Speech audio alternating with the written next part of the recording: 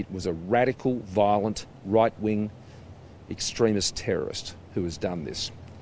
And uh, I'm appalled and sickened.